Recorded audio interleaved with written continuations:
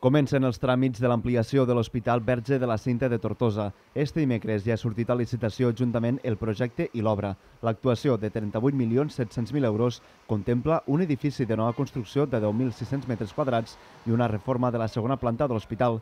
Se preveu l'ampliació en el bloc quirúrgic, esterilització, hospital de dia, consulta externa, farmàcia, serveis generals de suport i també aparcament. Les obres se faran en dues fases i començaran per la construcció del nou edifici.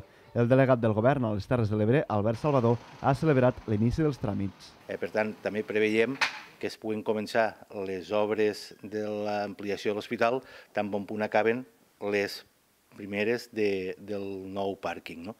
Eh, I en aquest sentit, ha sortit avui l'anunci de licitació publicat, eh, l'estimació és que pogués ser la signatura de contracte a l'abril de 2023, eh, se surt a licitació eh, projecte i obra. Mm, a l'octubre se va aprovar l'avantprojecte de l'hospital que permet ja treure aquesta licitació eh, en la qual donen tres mesos a partir de la signatura del contracte tres mesos per a fer el projecte bàsic i el projecte executiu i després 15 mesos més per poder eh, fer ja l'execució de, de l'obra. Tot i això, el delegat del govern ha refermat el seu compromís amb el nou hospital sense perdre de vista el gran projecte pel qual tots treballem, que ha d'anar, com se va explicar des de la Conselleria al seu moment, ha d'anar a continuació, que seria el projecte del nou Hospital de les Terres de l'Ebre. Per la seva banda, l'alcaldessa de Tortosa, Meritxell Roger, ha demanat bones connexions entre l'hospital i el centre de la ciutat perquè se pugui accedir a peu. Per tant, ara que s'executi, que s'executi el més ràpid eh, possible, perquè és una necessitat per al territori.